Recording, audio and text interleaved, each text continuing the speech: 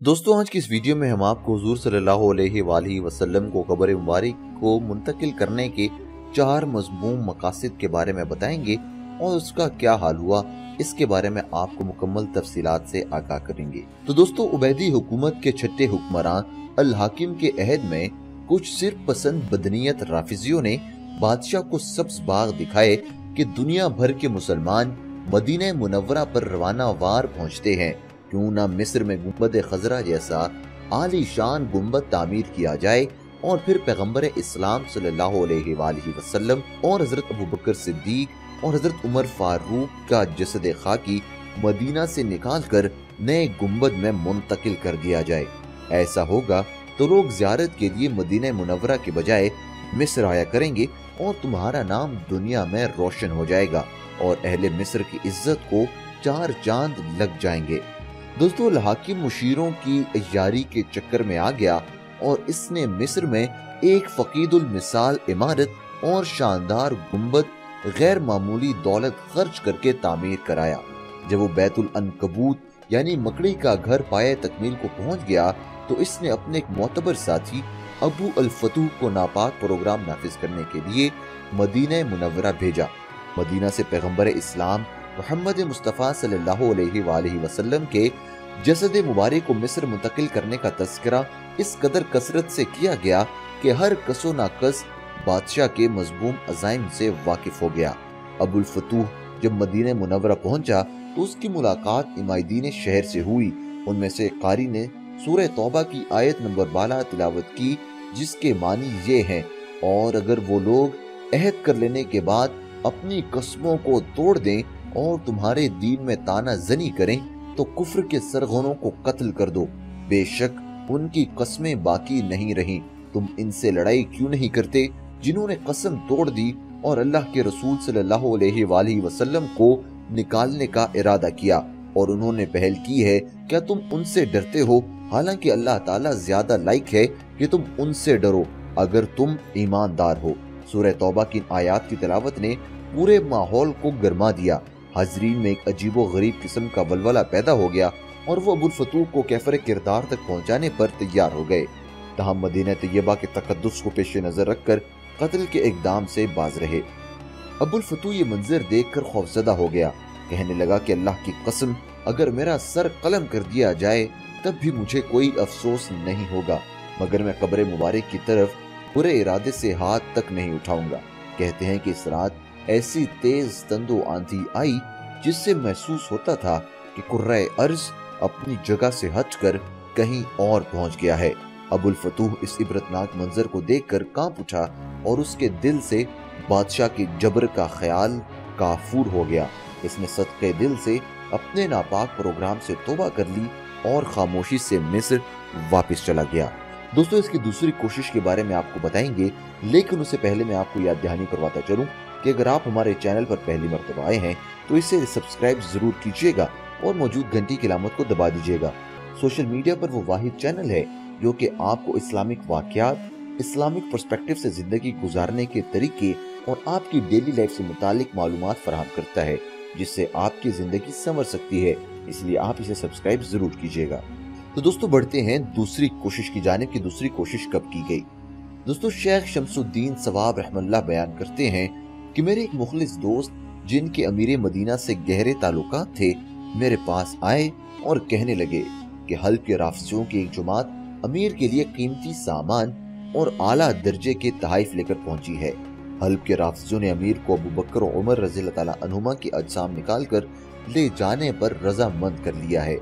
امیر موصوف مذہبی بے حصی کے باعث ان کے چکر میں آ گیا اور انہیں اجسام قبر سے نکال کر لے جانے کی اجازت دے دی۔ شیخ شمس الدین کہتے ہیں، یہ سن کر میرے حواس اڑ گئے۔ میں بھی اس فکر میں بیٹھا ہوا تھا کہ اچانک امیر کا قاصد مجھے بلانے آ گیا۔ میں حاضر خدمت ہوا۔ امیر نے حکم دیا کہ آج رات کچھ لوگ مسجد میں آئیں گے، تم ان کے لیے دروازہ کھول دینا اور ان کے کام میں مداخلت نہ کرنا۔ شیخ شمس الدین کہتے ہیں کہ میں بہت اچھا جناب کہہ کر واپس آ گیا مگر سارا دن حجرہ مقدسہ کے پاس بیٹھا روتا رہا۔ ایک لمحے کے لیے بھی میرے آنسو نہ تھمے۔ کسی کو حقیقت حال کا پتہ نہیں تھا کہ میں کس مصیبت سے گزر رہا ہوں۔ شیخ شمس الدین بتاتے ہیں کہ عشاء کی نماز سے فارغ ہو کر جب لوگ چلے گئے تو میں نے دروازے بند کر دیے۔ کچھ دیر بعد باب الاسلام، جو میرے مدینہ کے گھر کے قریب تھا، اسی طرف سے وہ لوگ آئے۔ انہوں نے دروازہ کھٹکھٹایا میں نے امیر مدینہ کے حکم کے مطابق دروازہ کھول دیا۔ وہ اندر آنا شروع ہوئے۔ ان کی تعداد چالیس تھی۔ وہ لوگ پھاوڑے، کدال، ٹوکریاں اور کھودنے کے دیگر آلات روشنی کے لیے شمع سانس لے کر آئے تھے۔ شیخ شمس الدین بتاتے ہیں کہ میں حیرانی و پریشانی کے عالم میں ایک طرف بیٹھا رونے اور سوچنے لگا کہ یا اللہ، تو قیامت برپا کر دے تاکہ یہ بدتنیت لوگ اپنے عزائم سے باز رہیں۔ یہ لوگ مسجد نبوی صلی اللہ علیہ وآلہ وسلم میں داخل ہو کر حجر مقدسہ کی طرف بڑھتے جا رہے تھے۔ ابھی ممبر شریف تک پہنچے بھی نہ تھے کہ ساز و سامان سمیت سب کے سب زمین میں دھس گئے۔ یہ واقعہ سیدنا عثمان بن عفان کی توسیع کے پہلے مغربی ستون کی جگہ کے قریب پیش آیا تھا۔ امیر مدینہ لوگوں کی واپسی کے انتظار کر رہا تھا، مگر زیادہ دیر گزر جانے پر اس نے مجھے طلب کیا اور مجھ سے پوچھا کہ وہ لوگ نہیں آئے کیا؟ تو میں نے کہا کہ وہ لوگ آئے تھے۔ امیر نے دریافت کیا تو پھر کیا ہوا؟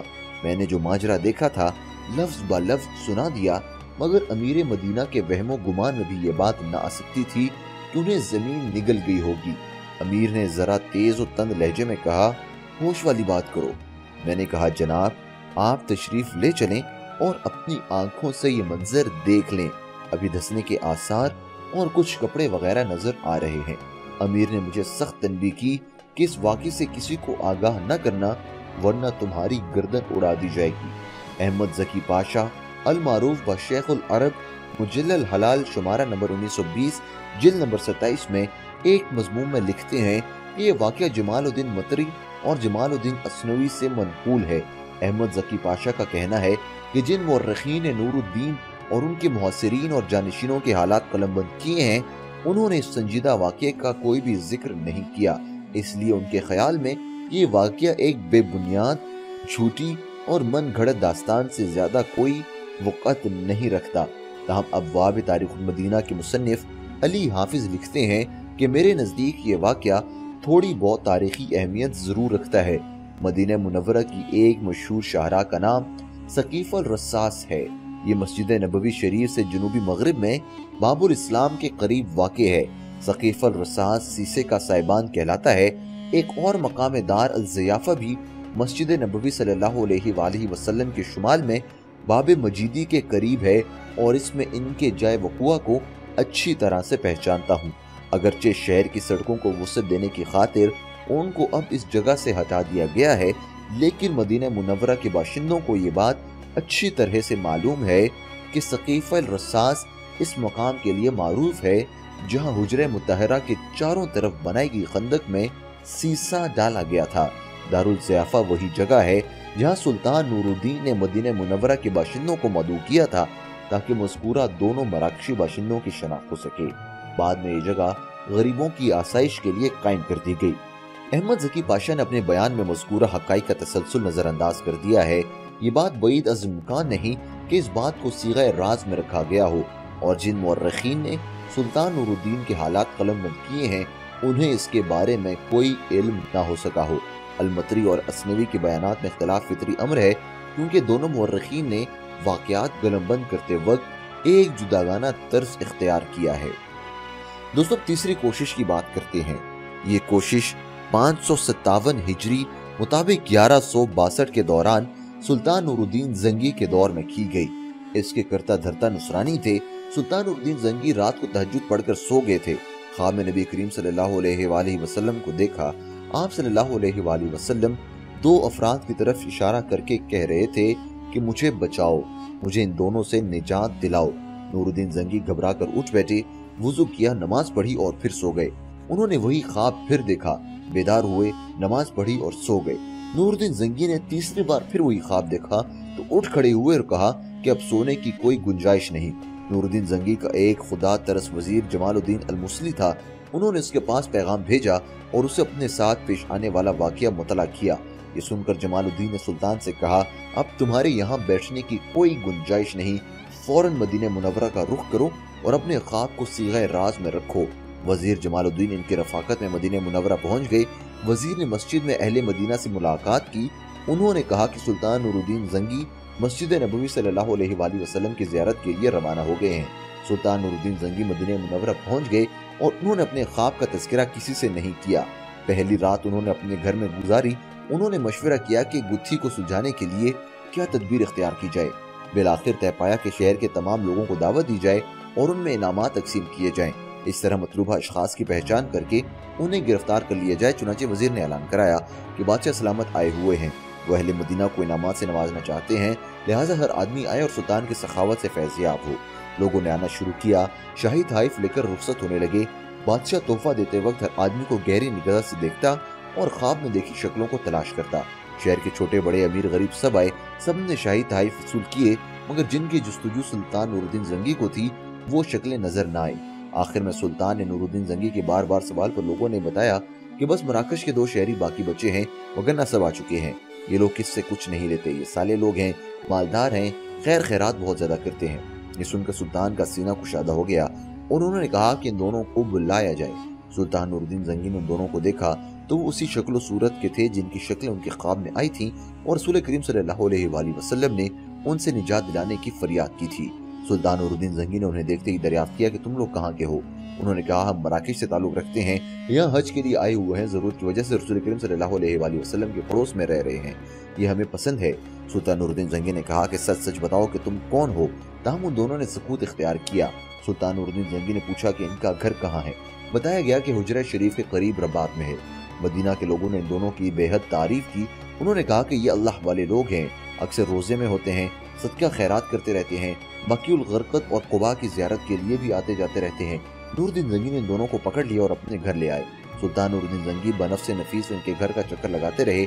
اچانک انہیں گھر میں ایک چٹائی نظر آئی۔ انہوں نے چٹائی اٹھائی تو اس کے نیچے سرنگ کھدی ہوئی نظر آئی۔ سرنگ بہت گہری اور بہت دور قبر بارک تک پہنچ گئی تھی۔ لوگ یہ منظر دیکھ کر خوفزدہ ہو گئے۔ سلطان نور الدین زنگی نے ان دونوں سے کہا کہ تم لوگ مجھے اپنی حقیقت بتاؤ۔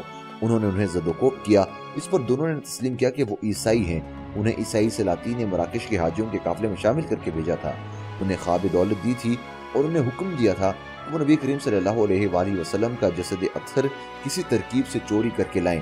دونوں رات کے وقت کھدائی کرتے، مٹی تھیلے میں بھر کر دونوں جنت البقیع کی زیارت کے نام پر وہاں چھوڑاتے، دونوں ایک طویل مدت تک اسی طرح قیام پذیر رہے۔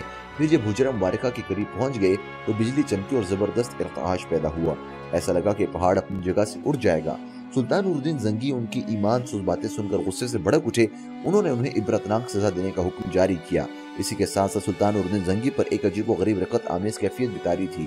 انہیں یہ سوچ کر اپنے اوپر فخر محسوس ہونے لگا تھا کہ اللہ تعالیٰ نے اس عظیم الشان خدمت پر انہیں معمور کیا اور انہیں اس قابل سمجھا کہ وہ یہ کام سر انجام دیں۔ دوستو، امید کرتا ہوں کہ آپ کو یہ ویڈیو اچھی لگی ہوگی۔ اسے لائک ضرور کیجیے گا کومنٹ سیکشن میں رائے کا اظہار کرنا بالکل نہ بھولیے گا۔